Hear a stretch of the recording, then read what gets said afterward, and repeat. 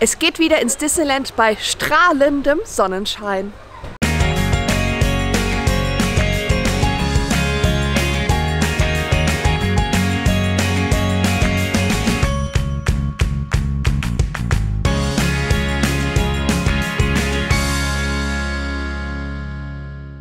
Hallo meine Lieben und schön, dass ihr wieder eingeschaltet habt zu einem weiteren Vlog hier aus Disneyland Paris. Ja, für uns ist es eigentlich zwei, der zweieinhalbste Tag, wenn man das Jahreskarten-Event mit dazu zählt am Freitagabend. Und äh, es ist relativ früh, weil uns wurde ja die Stunde geklaut. Es ist jetzt 10 vor 9. Und äh, wir wollen noch versuchen, ein paar Minuten von der Extra Magic Hours mitzunehmen, denn ich würde gerne noch ein paar Bilder beim Karussell machen und einmal mit dem Karussell fahren natürlich. Und ansonsten haben wir auch viel in der Tagesordnung. Also gestern, als Prina und Daniel da waren, war es ja immer so, ach ja, wir gucken mal, hier essen, da essen, dort essen. Heute ist es eher, ähm, wir müssen noch das machen, wir müssen noch das machen und wir müssen noch das erledigen. Also heute ein bisschen geplanter, strukturierter. Wir wollen auch noch Mini treffen in ihrem Stella McCartney Outfit. Da habe ich auch noch mein Kleid dabei im Rucksack. Ja, also begleitet uns heute bei dem wunderschönen Wetter. Es sollen 21 Grad werden. Ich habe auch heute keine Jacke mitgenommen. Nur halt dieses Woll, Wollding.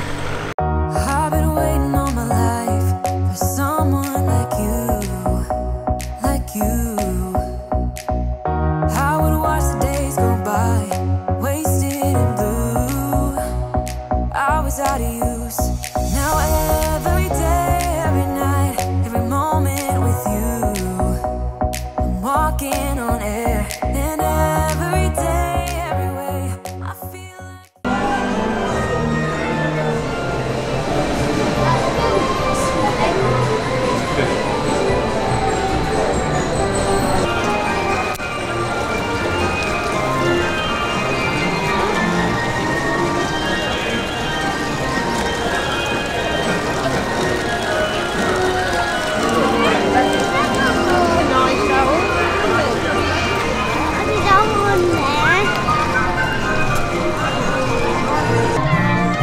jetzt Viertel nach zehn, glaube ich, oder 20 nach zehn. Wir haben echt schon viel geschafft. Äh, Wir haben Bilder gemacht beim Karussell. Ich bin Karussell gefahren. Wir haben, ich habe das Merch-Video zu Ende gedreht für euch, was in den nächsten Tagen auch noch online kommt. Jetzt warten wir für die Show, die kommt um 10 vor 11. Und dann gehen wir rüber in die Studios. Da haben wir nämlich auch noch ein paar Sachen zu erledigen.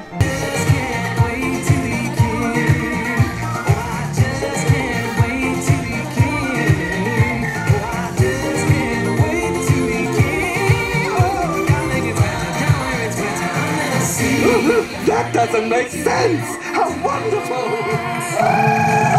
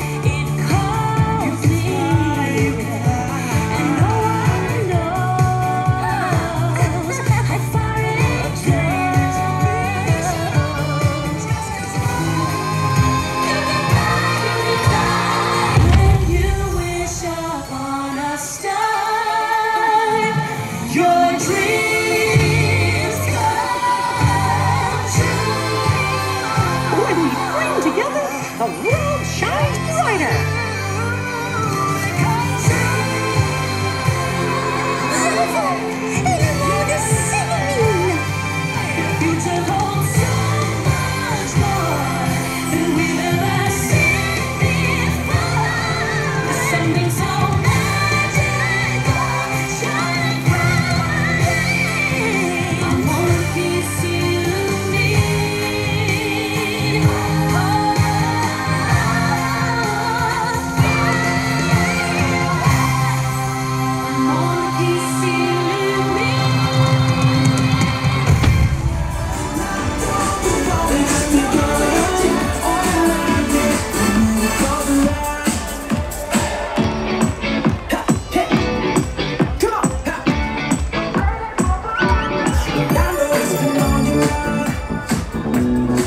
gehen jetzt rüber in die Studios. Mini wartet auf uns.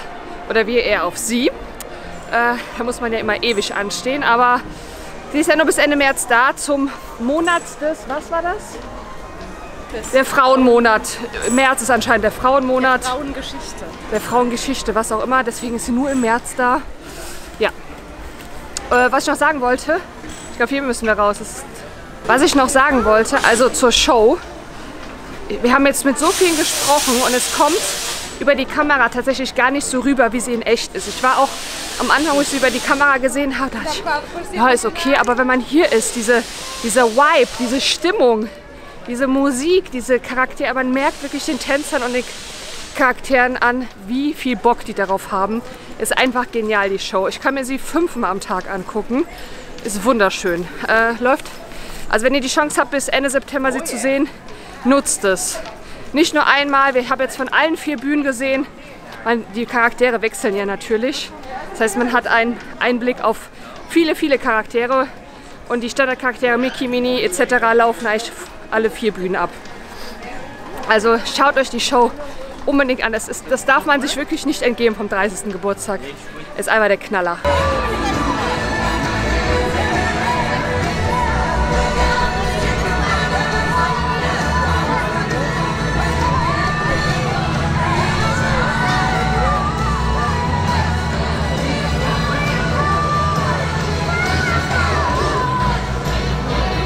Und hier gibt es einen neuen Magic Shot zum Film Rot oder Red mit Mai, Miley, Miley.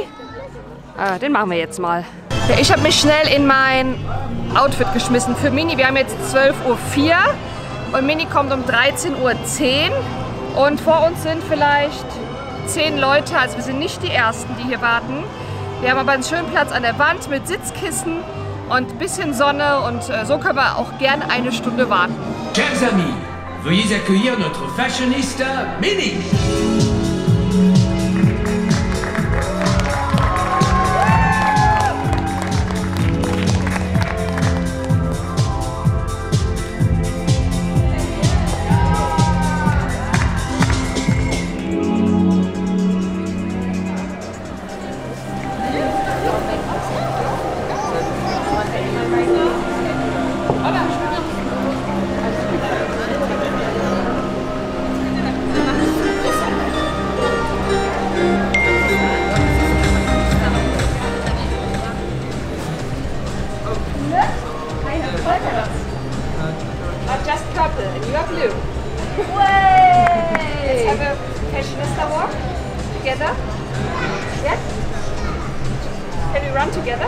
You're gonna do you're gonna do a catwalk together, yeah.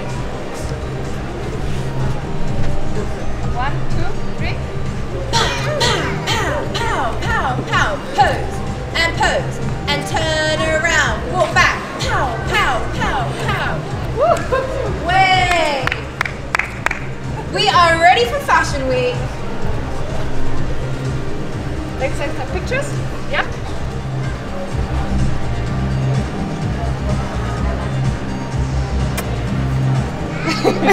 you look fabulous in your outfit. Love it. So cute. Polka dots everywhere. so, also das war tatsächlich ein sehr, sehr tolles Meet and Greet mit Mini. Wir haben einen Fashion Walk gemacht. Die Frage ist, wer schickt jetzt die Bewerbung zu Heidi Klum? Und wer wird eigentlich genommen? Mini oder ich? Ich glaube, diese Frage wird unbeantwortet sein. Ich weiß schon, wenn Daniel hier wäre, hätte er mich direkt verarscht und gesagt, du hast, ich habe heute leider kein Foto für dich. Das wäre so dein Spruch jetzt gewesen. aber, aber also man darf sich Zeit nehmen bei ihr. Das Anstehen lohnt sich tatsächlich wirklich. Leider ist ja nur bis 31. März hier, also bis nächste Woche. Aber ja, sie ist trotzdem immer noch ein bisschen Schlafanzug für mich, aber trotzdem, Mini nimmt sich Zeit für euch, macht viele Fotos und ja, hat sich auf jeden Fall gelohnt, das Warten. Ja, man sieht leider, dass das äh, Disneyland Hotel stark renoviert wird, kernsaniert gefühlt. Das Dach fehlt oben und äh, ja, hier diese. Also es sieht nicht schön aus, aber es muss halt gemacht werden. Und da es direkt am Eingang steht, ist es natürlich, äh, sieht es halt jeder. Der Daniel ist gestern gefahren und ja, Wir haben heute sein Dessert bekommen, die weltbekannte Mousse. Hier wird schon probiert und für allen von gut, also alle sagen, es schmeckt su super gut. Ich probiere gleich auch nochmal. Kostet 6 Euro hier bei der Old Mill. Um euch das auch mal zu demonstrieren, die Waffel ist ausgekleidet mit weißer Schokolade und innen drin, ganz unten, findet ihr ganz kleine Ananasstückchen. Sehr lecker. Ja, vom einen Snack zum nächsten. Wir sind jetzt hier bei Café de la Brousse und äh, die Nina holt sich den Dole Whip. Ich hole mir ein paar Nuggets und äh, ja, dann haben wir eigentlich schon unseren Plan für den Park hier abgehakt. Ich wollte eigentlich noch Mary Poppins treffen, also aber als wir zurückkamen von Minnie, war sie leider nicht mehr da. Sie ist normalerweise am Town Square. Vielleicht ist sie noch da, wenn wir rauslaufen, aber ich glaube eher nicht. Ähm, Minnie war bei uns heute wichtiger in dem Outfit, weil sie ist ja nur noch begrenzt da. Mary Poppins kann ich auch noch mal irgendwann anders treffen. Ich habe ja natürlich das Outfit angehabt, aber schade Schokolade. Ja, ich zeige euch gleich noch das Outfit, was ich gerade anhabe und dann noch ziehe ich mich nochmal um ins Mary Poppins Outfit. Ja, da sind die Nuggets und diese sind wirklich eine der besten Nuggets, die es hier gibt. Bei Café de la Brousse und hier der Pineapple Whip Ananas für 5 Euro. Die Nuggets kosten 8. Bei dem Wetter muss man auch mal ein Dole Whip essen. Ich habe mich ja zwischenzeitlich mal äh, umgezogen, aber ich möchte euch trotzdem beide Outfits noch zeigen. Und zwar, ja, das habe ich extra angezogen für Minnie Maus. Mit den schönen lila Punkten gibt es bei Amazon. Kann ich euch den Link gerne unten in die Infobox packen. Ja, und die Ohren, die gab es, glaube ich, mal im Disneyland Paris. Und dazu die Mary Poppins Tasche. Die ist zwar auch ein bisschen lila, passt also ganz gut dazu. Aber ist eigentlich für das Mary Poppins Auto, was ich euch gleich noch zeigen werde. Ich muss mich korrigieren. Ich hatte im letzten Vlog gesagt, dass das der ein Charme ist zum 30. Geburtstag. Das stimmt nicht. Wir sind gerade bei Pandora und die Frau hat sich äh, fast schon regelrecht aufgeregt, weil jeder hier ankommt und denkt, das ist der Charme zum 30. Geburtstag. Ist er nicht. Das ist einfach nur eine Postkarte. Hat die ähnlichen Karten, äh, Karten, Farben, aber ja, es ist kein Charme zum 30. Geburtstag. Der kommt in den nächsten Wochen. Und weil mich auch so viele schon danach gefragt haben in den Kommentaren und auf Instagram, nein, die Wasserspender funktionieren leider immer noch nicht, wie ihr sehen könnt. Sobald sie es tun, werdet ihr es in meinen Vlogs und in den Stories erfahren. Ja, wir haben den Park verlassen, aber nicht für lange, keine Sorge. Disneyland Paris Content kommt ganz, ganz bald wieder. Und zwar heute in zwei Wochen fahren wir schon wieder los. Ja. Äh, Disneyland Paris feiert ja am Dienstag in zwei Wochen ich weiß gar nicht, wann das Video rauskommt, Montag oder Dienstag, also dann in zwei Wochen, seinen 30. offiziellen Geburtstag und da kommen wir natürlich auch wieder. Nina, Brina sind, wir sind zu dritt, drei Tage hier. Wir reisen Sonntag an, aber da gehen wir erst nur zu Primark und sind dann Montag, Dienstag, Mittwoch in den Parks. Der Daniel kommt ja am 11. abends und bleibt bis zum 12. mit Sven zusammen. Das heißt, wir sind alle wieder vereint. Das wird super. Wir gehen jetzt noch kurz ins Village. World of Disney, Fashion, Starbucks. Wir müssen noch ein paar Besorgungen machen und dann geht's ab nach Hause. Wir sind super, super müde, erschöpft. Man fühlt sich immer wie zehn Jahre älter nach so einem Disneyland Paris Wochenende. Und jedes Mal denkt man sich, warum tut man sich das an? Aber man kommt in zwei Wochen einfach wieder, weil es einfach magisch ist. Ja, hier im Fashion gibt es eine neue Kollektion. Teilweise gab es sie auch bei Shop Disney. Und zwar einmal hier dieses Sweatshirt für 45 Euro. Das ist ja so eine Schmuckablage. 18 Euro. Neue Tasse. Hinten steht Enjoy für 17 Euro. Trinkflasche 25 ich glaube, die sind jetzt nicht neu. Ich glaube, das letzte Mal schon. Steht Joyful, da unten ist ganz dezent Bambi drauf. Ja. Ach, hier, den habe ich euch vergessen zu zeigen. Das ist ein Mickey. Und zwar hat der, ist der ganz schwer am Hintern. Also der ist beschwert. Ich weiß nicht, was, wofür das gut ist. Ich weiß es nicht. Auf jeden Fall kann man den dann hier so hinplatzieren. Kostet 35 Euro. Als Türstopper vielleicht.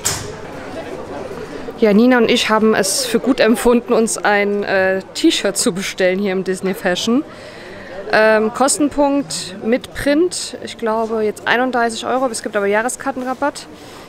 Und ihr könnt entweder das Design wählen oder hier so ein Design. Dann gibt es auch ein Frauenshirt in Slim Fit. Ist wirklich schön. Äh, wir haben uns aber für das Design entschieden. Wir haben aber vergessen, also wir haben nicht gewusst, dass es 20 Minuten pro T-Shirt braucht, bis es fertig ist. Äh, wollten eigentlich um 4 Uhr losfahren, jetzt müssen wir halt erst um 5 losfahren. Ja, nicht mehr so frisch wie am Morgen, äh, jetzt am späten Nachmittag, aber noch mein Mary Poppins Outfit mit den Minnie Mouse Main Attraction Collection Ohren. Ich weiß gar nicht, waren glaube ich im Juli da. Dann ähm, ja, Stitch Chopé bei Loungefly T-Shirt und passender Rock. Und viele fragen mich ja tatsächlich, wo ich die Röcke immer kaufe. Tatsächlich gibt es sie eigentlich nur in Amerika. Manchmal finde ich sie bei Ebay oder Amazon, aber meistens äh, kaufe ich sie direkt in Amerika. Entweder bringt sie jemand mit oder den habe ich ja jetzt gekauft, als ich selbst in Orlando war. Aber die Tasche gibt es bei Amazon. Glitzert so schön. Glitzert so schön, ja. Hat mir eine äh, liebe Followerin äh, zugeschickt. Also vielen, vielen Dank dafür. Äh, sonst hätte ich jetzt eine andere Tasche tragen müssen. Ja, also das war mein Outline. Ja, ich habe das eigentlich so den Dreiviertel des Tages heute angehabt. Ja, und während wir jetzt hier auf unsere T-Shirts warten, äh, schön im Schatten, denn es fühlt sich heute an, als wäre Juli. Es ist so warm und da waren wir Ende März. Ähm, also krasses Wetter heute.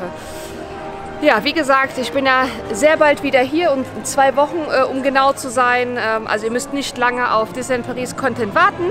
Bis dahin, ähm, ja, kriegt ihr noch anderen. Also ich habe ja noch das Merchandise-Video, was ich hochlade. Ich habe noch das Secure Lodge-Video. Also ich habe noch ganz die Walt Disney World Vlogs.